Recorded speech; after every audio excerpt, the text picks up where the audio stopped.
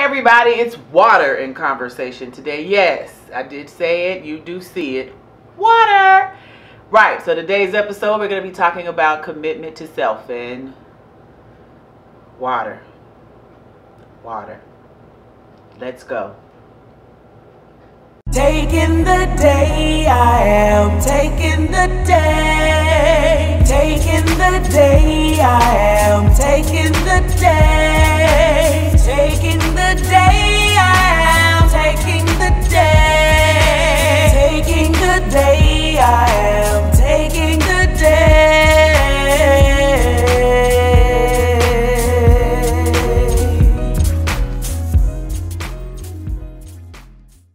All right, as you can see, I have finished my glass of water and I can now move on to coffee. But before we jump into today's conversation, hey family, have you all had a fantastic week? I'm listening. Did you all play a little bit? I played real good on this past week. I hope that you did too. I hope that you took time to find something fun to do. I went to a virtual HBCU party hosted by uh, Chi Tau Omega chapter of Alpha Kappa Alpha Sorority Incorporated. And listen, I had a good time. DJ delivered, delivered. Listen, listen, that music was good. And honey, we partied real good. And while we was partying, I was at my sister house. We was dancing and cooking fish. And y'all, let me tell you, I walked out the room and while she thought I was gone, I came back around the corner. Y'all, I'm going to tell y'all the truth. She was in there twerking. I caught her twerking. She was twerking in the kitchen. Fritz asked her about it because she was in there getting it in. Yes, she was. So we had a fantastic time partying and dancing. I spent the weekend uh, really playing, playing very heavily with um, the children, my husband. We had a nice time. So I hope that you all did the same, family. If this is your first time here, welcome to my channel. Y'all listen. Look around, find something that ministers to your soul and helps you to live a happier, healthier life. That's what my intention is in sharing uh, tips for my daily life and the things that I'm doing to keep myself encouraged to continually seek in my own journey um, and and get where I'm going in this here life and live a happier life. What are you doing? If you don't like, if you don't love the life that you're creating, what are you doing? If you're in a relationship and you're not enjoying the relationship, what are you doing? You in it, you a part of it, make something you want to be a part of. If you don't like your house, change it. Uh-huh. If you don't like your job, look for another one. I'm preaching good already. Now, all I'm saying is sincerely, if you don't like the life that you're creating, create a different one. And that's what this channel is about, how to do that. And today, in order to do that, we're going to talk about our commitment to self and being committed to self. So are you committed to yourself? Are you? Are you committed to your goals, your dreams? Are you committed to the things that are important to you? Two things unequivocally are the most important things in your life your mental health and your physical health. If you are crazy as a road lizard, there is nothing anybody can do with you. Come on here. If you crazy, what can we do? Mentally, if you are gone, there is nothing we can do with you. So, one, you know, without even further discussion, if you if you mentally you off, go get yourself together. Go sit on the couch or go get the pill or do whatever it is that you need to do. Seek the lord. And if you pray if you have prayed and read the bible and you still crazy that is why they make drugs. Go and get that good prescription. Stop running to the upper cabinet.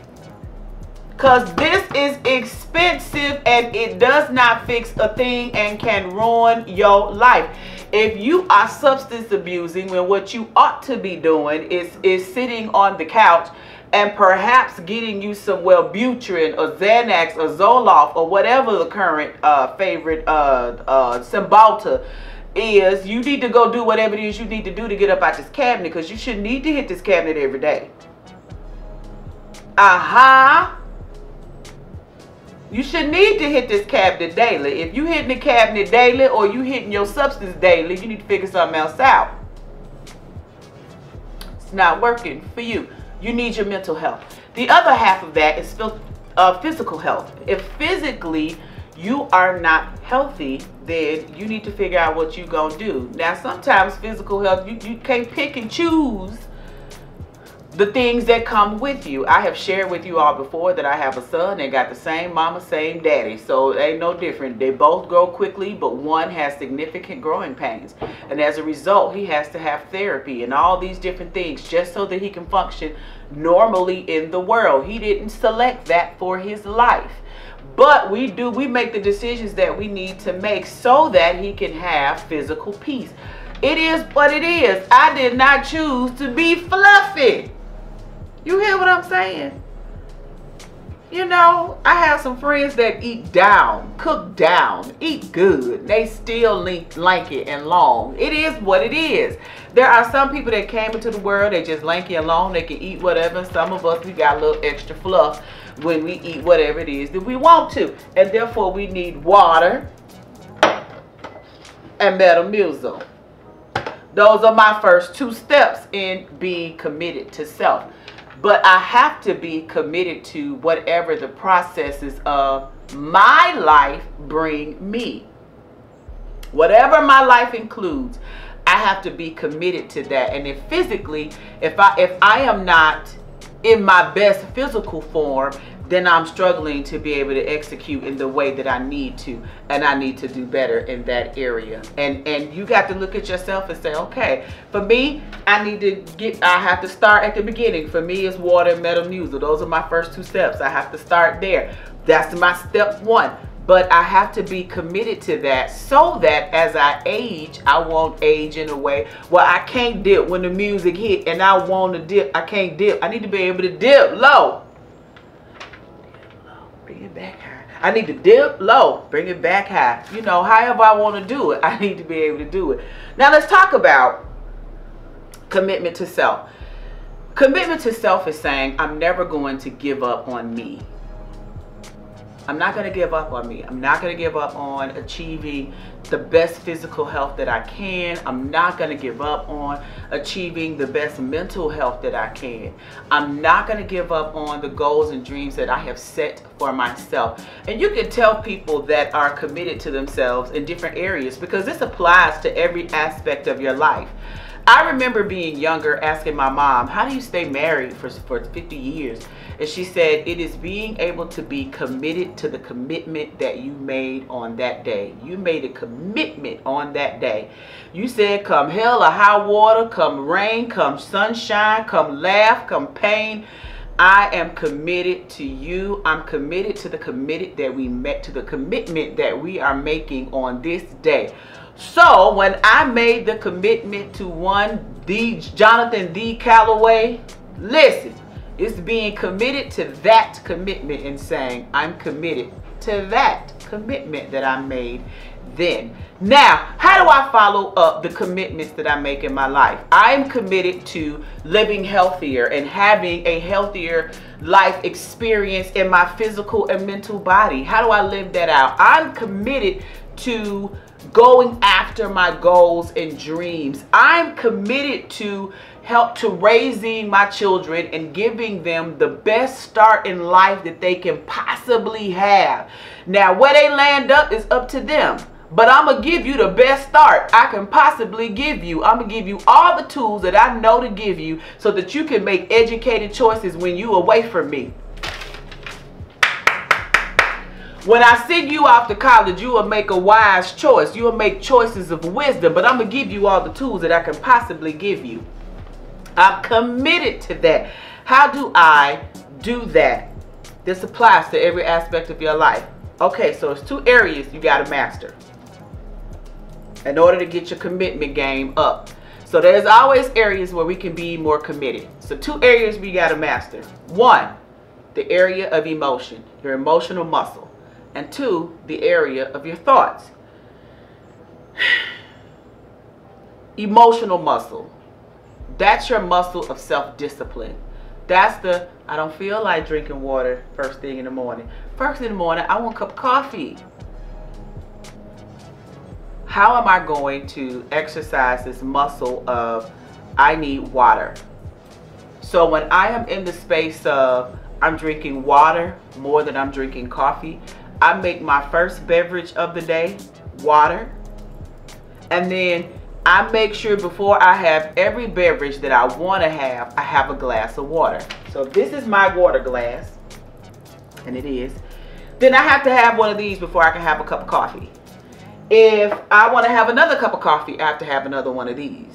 When I get ready to have lunch and I want a glass of tea, I gotta have one of these first. I have one of these with dinner and I gotta have one of these when it's bedtime, right? So this is my way, and I think it's like a little bit more than 16 ounces but or it might be a 20 ounce glass. It's my way of making sure that I have enough water. My goal is to get to a gallon of water a day.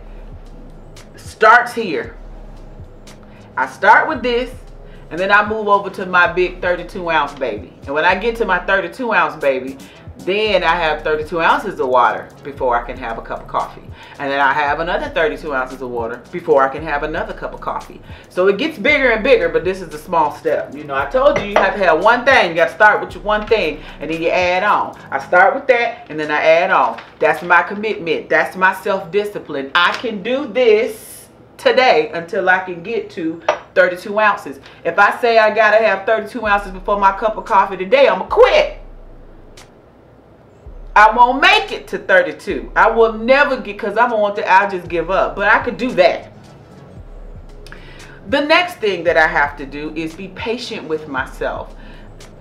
This current self has to be patient until I can get to my future self, my future goal, my future expression of whatever it is. Whether it's weight loss or that future uh, relationship or that future business. I have to be patient with myself. How am I patient with myself? I use meditation. Meditation helps me to relax.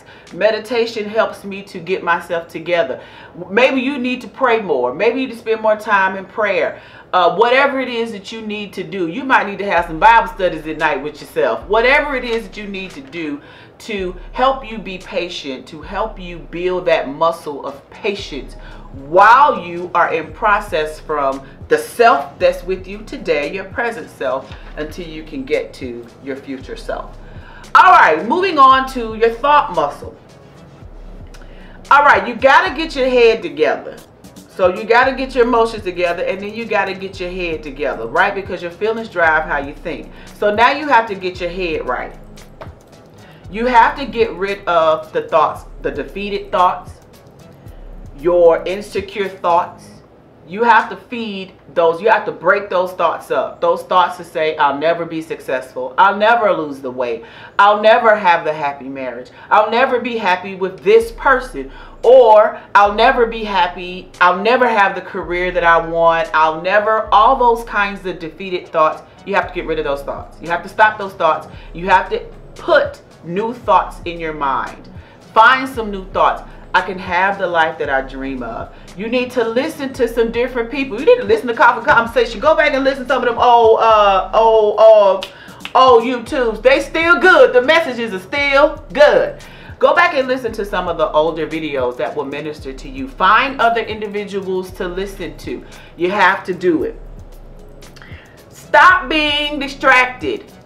Some of us are easily distracted by Netflix shows. Put it on, on a time limit.